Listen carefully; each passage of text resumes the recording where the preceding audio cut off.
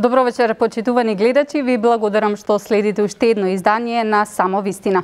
Наши вечерешни гости се Борислав Крмов, пратеник од Левица и Зоран Димитровски, генерален секретар на Демократскиот союз и заменик министер за локална самоуправа.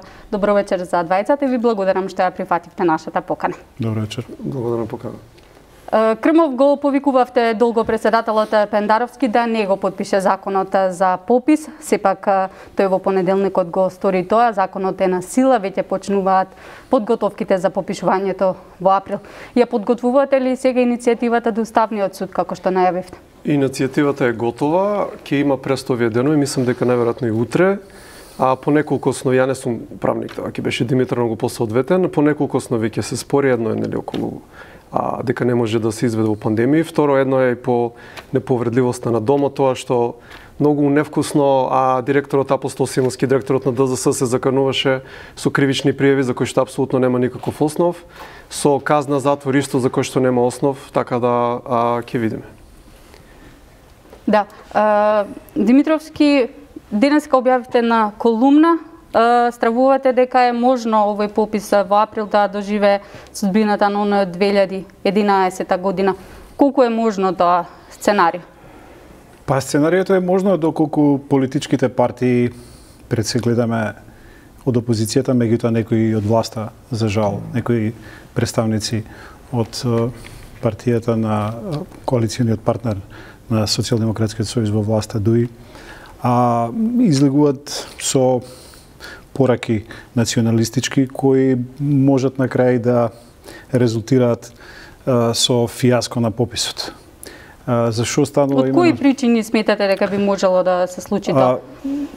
Напротив, мислам, јас предупредувам на тоа, односно, фактички сакам да кажам дека сите политички лидери треба да ја сватат сериозноста на политичкиот миг, иако веќе се оди на одржување попис, да, да ги повикаат да ги повикаат сите да се попишат, а не да лицитираат со бројки. Лицитирањето со бројки како некаков претек, е претекст да се создаде одредена политичка дестабилизација, според мене. А, ако вие го кажете дека пописот нема да ги признаеме бројките од пописот, затоа што се сомневаме дека дека пописот ќе биде наместен. А, и тоа свое тврдење го го базирате да речеме затоа што вам не ви поминале одредени амандмани во во расправата за законот за попис. А, ако буквално сакате да да негирате се она што се донесува како законска материја и услови што се создаваат за организирање на пописот, фактички вие го рушите пописот. И ако ВМРО ДПМН е да речеме, или некоја друга партија од опозицијата, или некоја друга партија од власта, им каже на граѓаните како што господинот Мицковски да речеме се обрати до граѓаните рече дека па ако сакате учествувате на пописот, сакате не учествувајте. Тоа беше обраќање слично на обраќањето за референдумот. Пописот не е ниту референдум, ниту се ниту е станува збор за избори. А, значи, ако некој политички лидер така му се обрати на граѓаните или ако води тајна, тајна а, акција за минирање на пописот, пописот нема да успее. А, односно, ќе имаме на крај резултати кои што нема да бидат релевантни.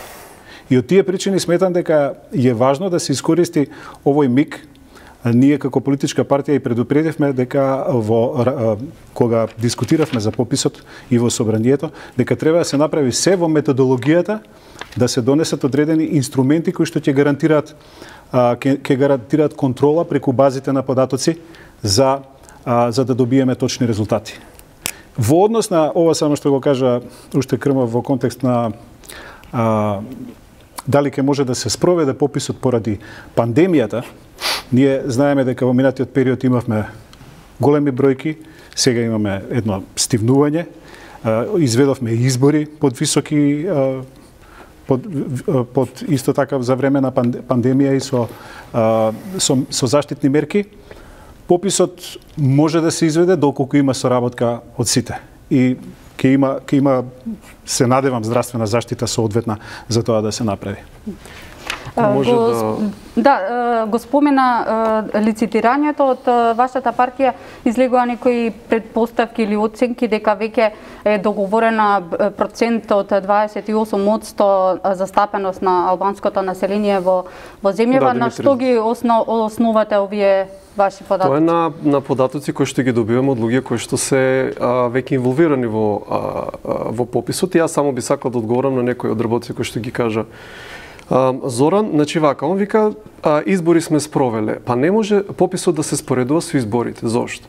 Затоа што на избори гласаат 50 или нели над 50 е цензусот од луѓето од, од граѓаните кои што имат 18 години. Кој процент е тоа од целокупното население. Додека на пописот се се попишува од мали бебиња до 80 годишни старци и старици, така.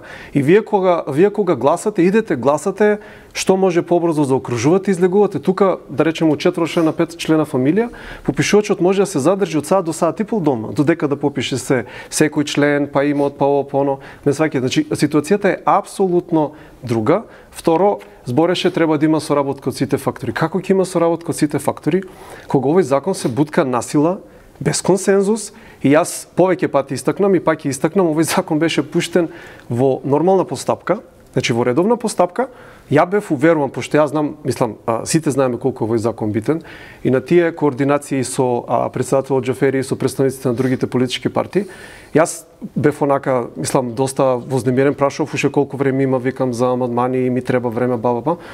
Они ми викаа, не, не се секира, и секи биде окей. За во време на маратонската седница на Гама што траше 21 час, да се повлече тој закон, експресно да се пушти скратена постапка и да не добиеме известување како претенци дека е пуштен скратена постапка. Наредниот ден ние имаме седница, трае до 5 попладне и само 18 часа имаме за амандмани. Наредните два дена они ги тераат екстремно брзо и сите амандмани на опозицијата, исто, исто, например, што рече Зоран, Демек не може да се базира став на тоа што било неколку амандмани ви било одбиени. Сите беа одбиени и огромен дел од нив беа суштински. И ќе ви кажам што. На пример, ние немаме дефиниции за пописни единици. Ние немаме дефиниции за карактеристиките што ќе се собираат. Методологијата тотално отсуствува. Значи ние немаме толковник за, за поимите, ние немаме рокови, може би у новиот закон има некои а, рокови стајано, немаме постпописно истражување кое што се прави со 1 до 2% од веќе попишаните за да се споредат нели да нема некои големи одстапувања и дискрепанци и на крај ние имаме по, а, врзан подпис на председателот на ДЗ, а, пардон, на директорот на ДЗС со неговиот заменик од ДУИ. Значи, знаете како е направено? Нивното оправдување беше а, методологијата и сите тие работи што се сршта на законот, што се бараат по Евростат, што се бараат по Обединетите нации, што ево ја ви кажувам, ја ги гледав не прегледав десетина закони од европските земји кои што а, планира оваа година или наредната да прават попис, меѓу другото најголем дел и го одложија, сите ја имаат методологијата. Сите. Еден нема. Значи тука имам и копија еве од бугарскиот закон, ако сакам може да му дам колегата нема време да ја прочита. Ама тука ги има сите тие дефиниции кои што ние се обидовме амандмански да интервенираме и они ги одбија. Ни го подметнаа законот од, а, во мартонската седница за гама а, што драж 20 21 час, пардон, со а, скратена постапка да ни го скратат времето, каде тука станува збор за консензус? И знаете како? Сите тие најбитните ствари, значи сршта, му е дадена на директорот и само пишува директорот на, на Државен завод за статистика носи да, да, да, да, да, тој е член 17 И за во, во став 3 од член 17 да стои дека сите тие работи мора да ги прегледа и заменикот. Значи ние немаме ни директор веќе на ДЗС, имаме кодиректор на ДЗС. Да. Со тоа Сакала- неговата функција е деградирана, со тоа е деградирана и институцијата Државен завод за статистика. Така, и само еден краток коментар за Апостол Симовски кој што а, имаше една турнеа деновиве да се заканува на нели како што спомнав на на граѓаните ќе ги носил во затвор на 5 години и и така натаму. Он имаше една многу интересна изјава, вика на првиот момент вика на политички притисок за да сменам вика нешто, ја вика нема да попуштам. Па на првиот политички притисок да ти имаш врзан подпис што е преседан со твојот заменик, он има попуштено. Значи уште у старт. И Ако како може- ние да очекуваме а, дека нема да попушти на, на дополнителен политички притиск. Да. Само дозволи, би сакала да ве вратам на ова извори од пописот. Веќе се создава атмосфера на недоверба кон целиот процес. Па може ли подетално да ни појасните на кои извори се повикувате кога излегувате со информации дека веќе се договорени резултатите овие, од пописот? Како да ви кажам, они они овие работи ги спремам. Со конкретна бројка еве од 28%. Ама тоа се луѓе кои што се инволвирани, така ќе имаме попишувачи, ќе има од од фондот и така натаму, значи не можам сега аз да ви ги кажувам со име и со презиме, мислам тоа би било. Значи луѓето се апсолутно исплашени на кој начин се тера оваа работа, така. И сега се бара доверба во институциите, а ние имаме партијата ДУИ кој што партиципира во институциите, значи во извршната власт, и таа партија не верува на институциите до таа мера што бара врзан подпис. Не сакате, значи од партија што што е внатре, што раководи делот институциите, малтене 50-50 односот на на со, со нив, меѓу нив и СДСМ, таа партија не верува на институцијата да се бара врзан подпис, а на нас тоа ни се представува како дека тоа се окей, ама вие обичаите граѓани верувајте. Да. Кај нас го слушав господинот Апостол Симовски, тој објасни дека воопшто не, не станува збор за врзан подпис во контекст на резултатите од пописот. Значи кога ќе се пребрат, значи тоа тоа го слушав него, јас сега го интерпретирам она што го кажал господин Цимовски. Туку станува збор за врзан подпис во контекст на подпис на сите документи што се врзани со методологија, како ќе се попишува и така натаму. Образците значи, за образците и така. Значи не не може заменик директорот да ги подпишува или да ги одобрува резултатите од пописот. Резултатите од пописот ќе бидат фактички онакви какви што се, какви што ќе бидат за течење на терен. Тоа е тоа е едната работа. Дел сте од власта, колку овие сомневања од страна на опозицијата имаат основа? Има ли договор за какви резултати ќе има пописот? Во, во законот има а, она што го кажа господинот Крмов, Другарот Крмов. Добро. И за мене, за мене е господин, они од левица сте другари. Во, во контекст на казните, во врска со оно што кажа господинот Симовски, веројатно интерпретацијата во јавноста не знам каква беше или како тој се изразил, но факт е дека таму има кривични а, значи е кривично дело со казни до 5 години затвор за оние што ќе фалсификуваат и ќе уништуваат делот пописниот материјал. Значи, ако вие како попишувач влезете во некое семејство и, и внесете, внесете податоци кои што се лажни, значи фалсификувате, зборуваме за службените лица. Службени лица се сите тие што ќе го вршат делот на пописот. Вклучително и заменик директорот, вклучително и директорот на институцијата. Ако тие прават таков такво недозволено дело, тогаш и тие се дел од значи од нивната одговорност е во контекст на законот. Ако не одговараат денес, ќе може да одговараат утре со некој ако дојде некоја друга власт. Со други зборови, никој не смее да си дозволи уништување на пописниот материјал и а, искривување на податоците од пописот и лажно евидентирање на податоците од пописот. Без оглед дали граѓаните, ако граѓаните даваат лажни податоци или ако одбијат да дадат податоци, тие имаат прекршочни казни нели од 200 до 300 евра. Меѓутоа, сакам нешто да кажам во врска со овие а, фактички бројки што се лицитираат.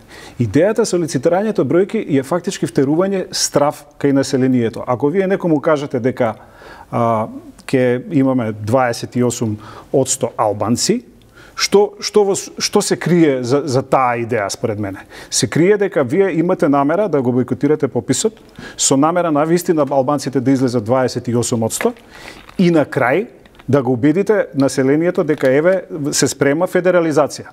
Значи ние одиме со, со, со плашење вештерки.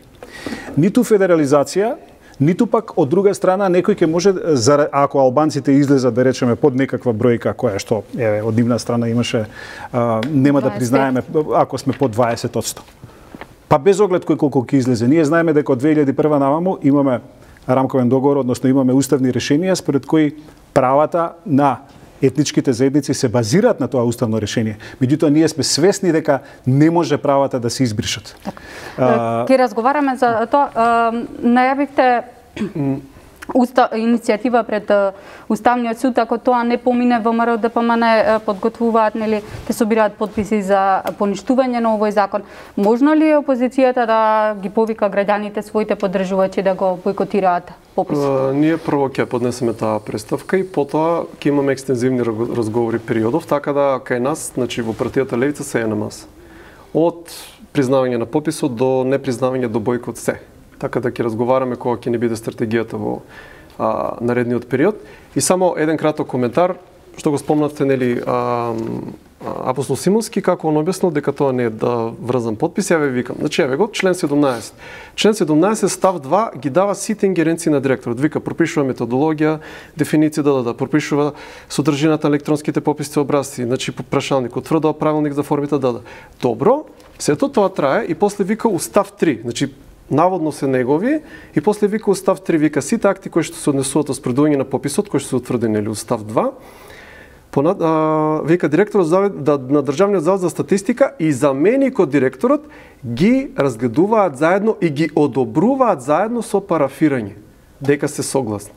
No. Значи два подписа. Понатаму став 4 вика док, доколку а, а, актите директорот на, на Државниот завод на статистика ги има донесено спротивно на став 3, значи сам ќе се смета дека истите не произведуваат правно тест. Да, актите, но не и резултатите од пописот. Јас само за, се, за тоа говорам. Не, се, апсолутно не. Се. Сега така го разбрав. што ме зборот, значи он и да сака сам, не може сам. Он цело време Ама е, тоа е институција е, која што и... ги утврдува резултатите, вие на крајот не можете сам ништо да направите се. Тоа не е не е веќе институција кој да кажам, таа институција деградирана. Ние останува на крај да го држиме апостол Симовски за збор во контекст Ама она што го кажа. За не, не, не, не, она што го кажа на крајот, доколку доколку се случи некој да му се спротивставува во контекст на вистина добиените резултати од пописот дека дека не сака да ги прифати во институцијата, тој самиот рече дека има намера да си даде оставка, а, како дека да такво нешто нема да поднесе ако не е професионално. Да се на законот, во однос на најавата најавата од Крмов дека и бојкот Не сме од, од волјата на еден човек да зависи ваква ваква работа, Апсолутно се согласувам со вас дека не сме да зависи од волјата на еден човек. Е, во однос на најавата дека и бојкот е опција за за левица, очекувате ли тој став да биде прифатен и од останатите партии во опозицијата пред се ВМРО ДПМН, доколку не им па, помине ние го видовме ставот на господинот Мицковски дека тој на некој начин ниту риба, ниту девојка, како што е во повеќе ставови до сега во политиката од негова страна, ќе остави на граѓаните да одлучат дали. Меѓутоа што ако тој Какви не ги повика? последици би имал дека... еден таков повик за бојкот на на Па последици на на уривање на пописот, затоа што ако го послушаат политички дали 100-200 илјади граѓани, сега станува збор, значи не само за гласачи, не туку и за цели семејства, ако одредени граѓани не ги попишат своите татковци, мајки, деца и така натаму, тоа може да биде 200, 300 илјади, 500 илјади луѓе, не знам колку колку може да биде влијанието на опозицијата и тој таа одговорност ќе треба да се ја преземе преземе врз себе. Меѓутоа, она што сакав да го кажам во во контекст на тоа лицитирање со бројки и а, повикувањето евентуално на бојкот заради тоа што а, некој смета дека условите не се добри за одржување на попис. Дека фактички во во она што предходно го го говорев во во контекст на политичките елити и стекнувањето на права јазични и така натаму.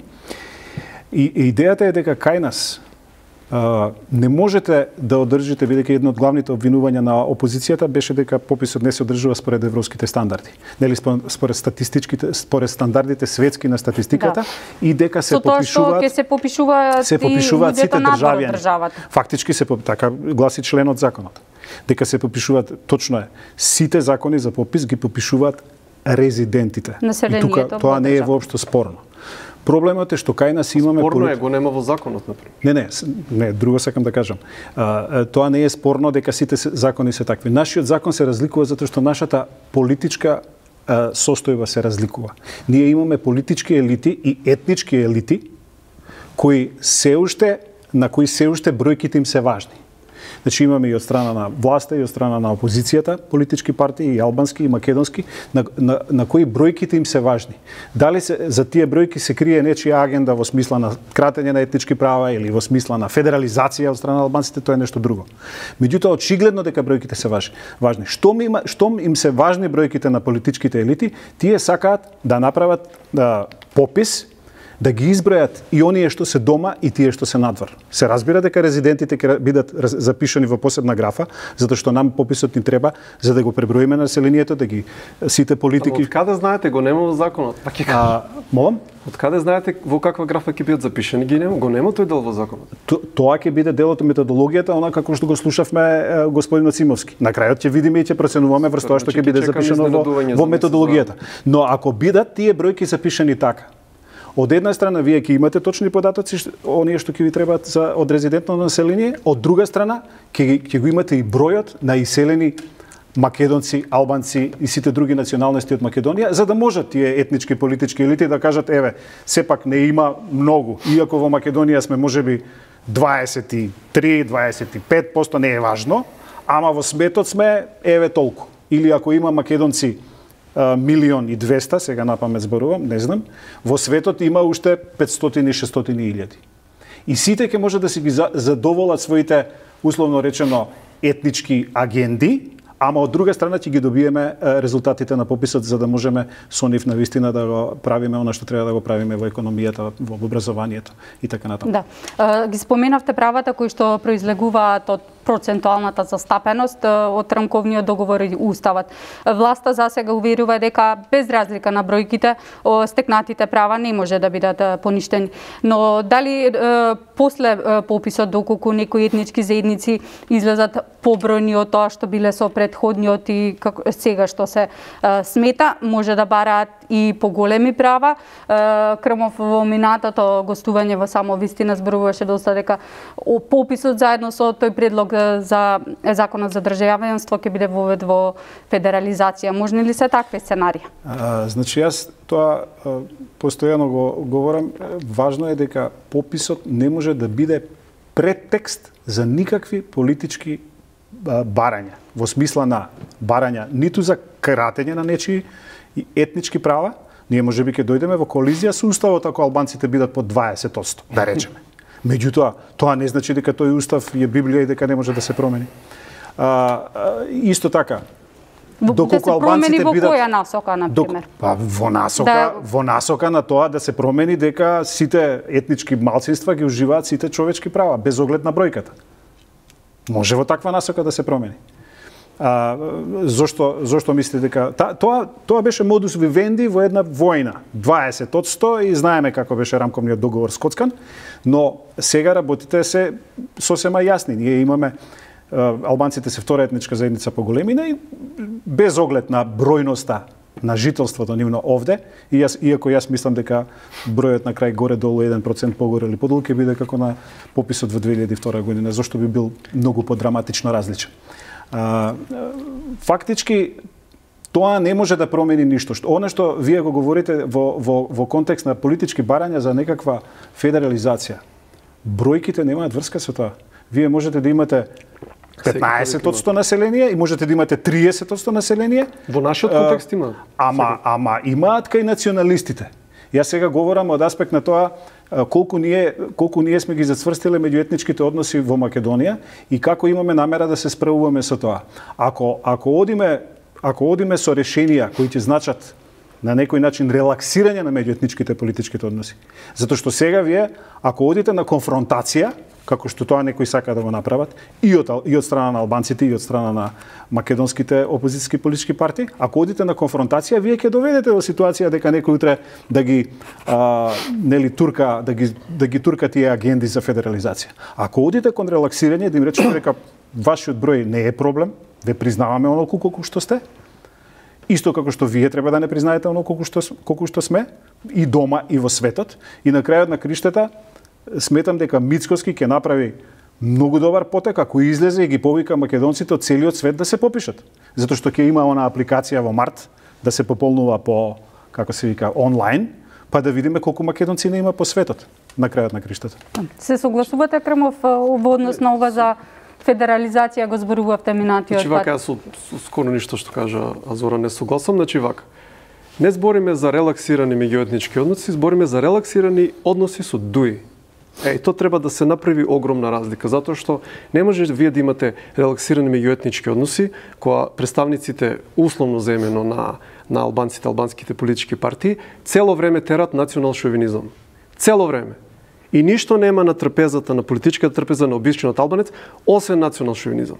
Така. Што значи ова а, давање на вето на ДУИ, и то треба да го знае јавноста дека тоа е вето ништо повеќе, Значи, они го контролираат целиот попис. Каков ќе биде, тоа зависи од нивната волја.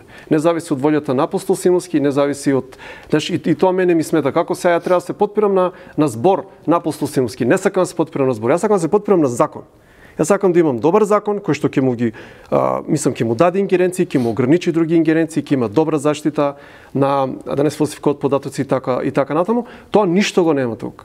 Значи тоа ништо го нема тука. Значи ние треба да почнеме веќе во оваа држава да ги разграничуваме албанските партии и албанскиот етнос. Оти едното и другото врска немаат. Колку што Али Ахмети е сублимат на, на албанците туку Македонија, толку е Зоран Заев, толку е а, Христијан Мицковски, а не е така. А сите знаеме дека не е така. Значи, албанските партии веќе немаат допир со, со албанскиот плепс, како што имале по, порано. Месагите нема више ентузијазам као албанската младина за нив они го губат гласачкото тело, меѓу другото зато зборев ја и дека тој а, закон за пардон за државјанство е, е затоа што они сакаат да направат инфлација така, ако изгубат 100.000 гласа на избори, може да увезат 100.000 гласа.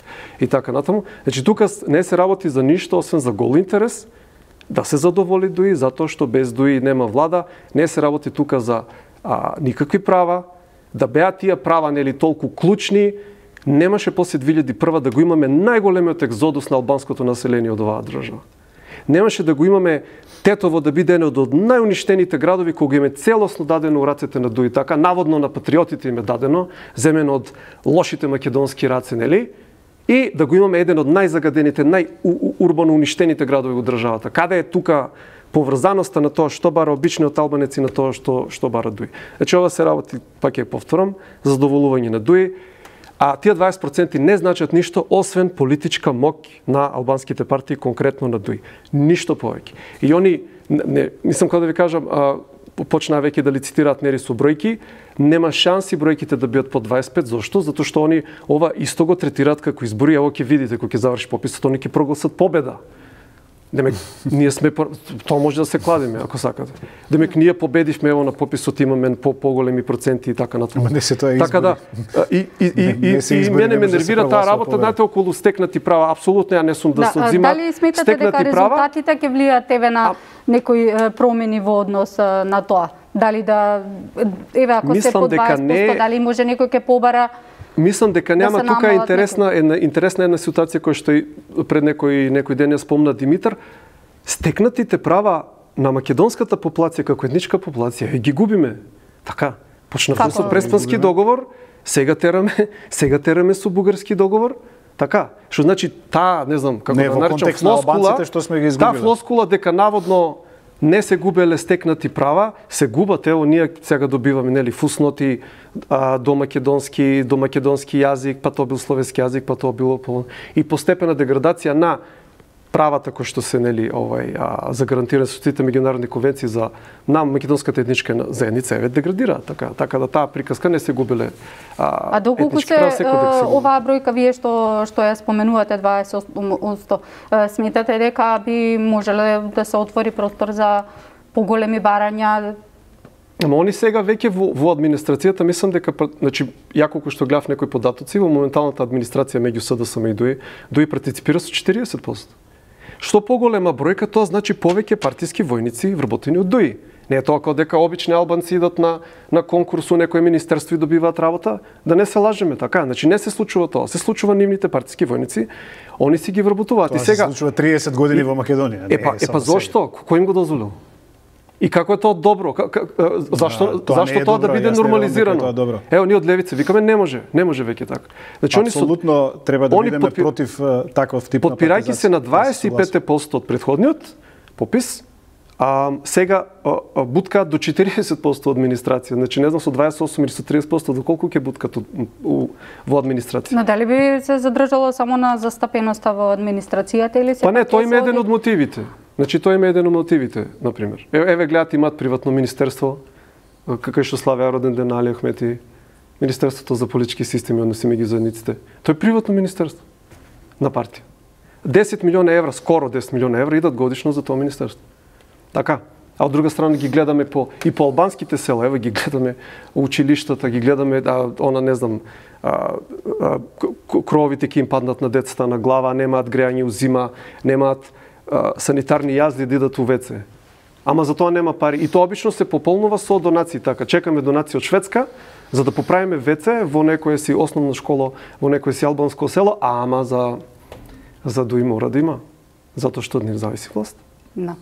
Ја споменавте релевантноста на, на бројките, но колку ќе има легитимитет, така да кажам, доколку еве и да не повикаат на, на бојкот ВМРО, ДПМН или Левица, било која од опозицијските партии, сепак тие не учествуваа во гласањето на законот и имаат сериозни сомневања како ќе се спроведува. Значи, колку легитимитет ќе има целиот процес?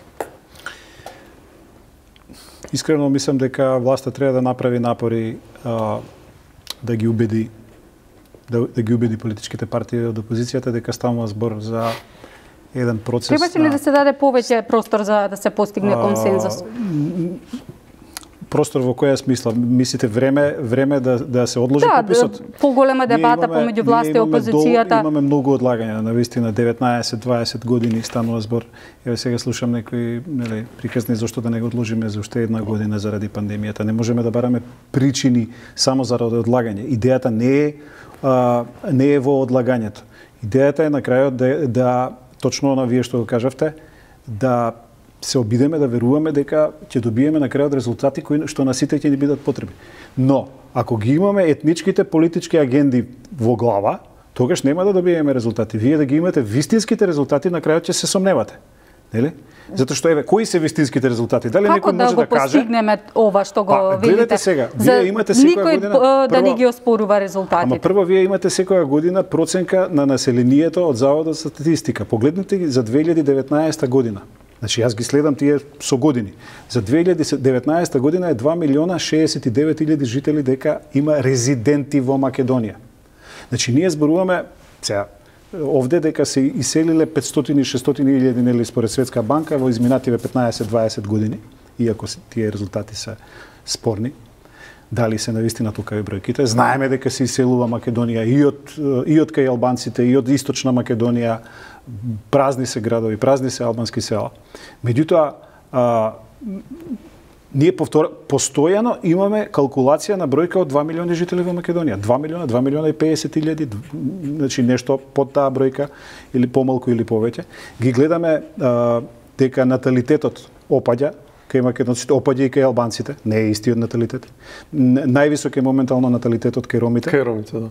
А, значи опаѓа и наталитетот и, и нешто и кај албанците, иако тие имаат нешто повисок, значи повисок наталитет од, од кај македонците.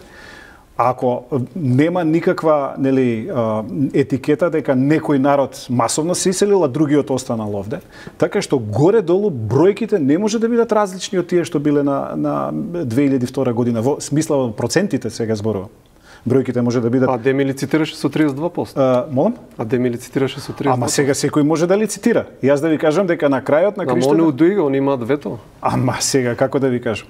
На крајот на криштата Али Ахмети рече 25%. Тоа е истата да. бројка колку две рече не може под 25. Може ли такво да. сценарио, да. ако не се остварат тие бројки што ги споменуваат, дуи па тие после тоа да го споруваат и да не го признаваат кај, има, има, има, кај албанците, кај дел од албанците има и одреден оправдан став дека она што го говоревме дека ако бидат под 20% дека некој може утре некоја друга власт да им ги да им ги скрати правата. Меѓутоа А, од тие причини е потребно сите политички субјекти да кажат дека независно од бројките никој нема.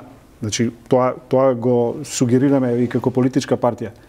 И албанците, значи албанските политички водачи да кажат дека без оглед на бројките нема да го користиме како претекст за нови албански барања во контекст на федерализација и така натаму. И од македонска страна власта и опозицијата да кажат дека нема да ги користиме бројките за кратење на политичките права. Само на таков начин со релаксирање на, на, тие, на таа политичка динамика може да се доведе до до некаков реално пребројување на населението. Може да кажам, да. значи, што ми е поентата? Такво нешто може да се случи само ако се носеше законот со консензус. А, викам, нели, а, Изорон кажа, вика, резидентно население вакво онако. Немаме дефиниција за резидентно население. Значи немаме. И имаме една многу Не, многу мислам дека про- во законот за попис стои сепак а, дефиниција не. за што се смета резидентно Не, население. не, не. Тоа ќе се носело во методологијата. Се ќе се попишува, така. а не знаеме како ќе се класифицира. Тоа ќе одлучи директорот, уствари директорот и заменик директорот. Или да кажем повеќе заменик директор. Значи резидентно население се знае што е. Ама- ама Стандардот не се е 12 знае сега, абе, месеци ама по чекайте, европски стандард. Ако не биде европски стандард, тогаш нема да го прифатиме. Јас сум пратеник у собранието, не Да. може се знае, не може ја да излезам и да предложам закон и да викам, "Абе тука ова го нема, ама се знае. Не, не се знае, треба да го има. А го нема. А Европскиот стандард е резидентно население до 12 месеци во државата. И- Без оглед дали е странец, Супер. може и странец да биде, нели? Супер, зошто го нема во законот? Го нема, како дефиниција го нема. Нема нема разграничување меѓу тоа да вкупно попишано и вкупно знам. население. Значи вкупно попишано е се. Се што ќе се попишува, вкупно вкупно население, резидентно население. Значи ние немаме се ќе се попишува, а не знаеме како ќе се класифицира. Не, ќе се како класифицира Они што- знаат, Она они што уште сега кажа знаат, дека во знаат, методологијата ќе биде класифицирано Ама зошто? на резидентно и јас. останато. Значи ја не дека не можам да се подпирам на волјата на директорот. Сакате да кажете дека сето тоа требало да биде во- секако, во законот. Секако. И јас се согласувам дека Само мора да така биде пишано. Само така ќе имаше консензус. Само пазите, овој закон се носи еднаш на 10 години. Еднаш на 10 години и тоа го исто го имам кажано. Значи разликата меѓу власт и опозицијата е едва 15.000 гласа.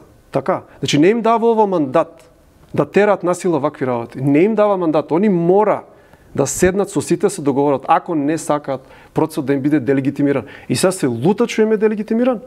Значи, не само, како кажавте, да објаснат, че они, ако треба на некого да објаснат околу овој процес, треба на народот да го објаснат, да му објаснат. И да го убедат.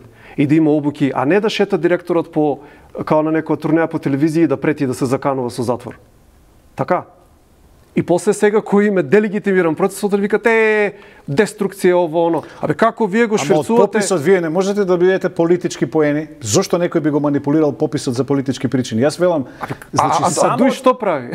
па се затоа велам, само од националистички причини можете да го манипулирате пописот. Ама цело време од никакви други. Не можете од полит... нема каков политички И профит ќе добие СДСМ? Што? Пари. Ка- Како ќе добиете пари од пописот? Дуј ќе добие. Ќе ќе ќе вработува луѓе повеќе у администрацијата. Па Не и сакате? И ќе се не- одржува на власт Нема- номинално. Нема никаков Ќе се одржува бескрајно на власт номинално. Па еве и ќе опозицијата уценува албанска гласаше додека за свети сонце. гласаше за законот за попис. Зошто не се спротиставија на дуи она што вие го говорите? Па, сепак албанската опозиција многу, ќе кажев малку устари, многу е проблематична. Како да ви кажам, у 60-70% од случаевите они седат таму у салата и соработуваат со власта. Така да ја Ке мора да сериозни направиме на па- пауза за, за сериозни реклами. сомневања дали воопшто имаме албанска опозиција во парламентот веќе. Пауза за реклами, се враќаме за кратко, останете со нас.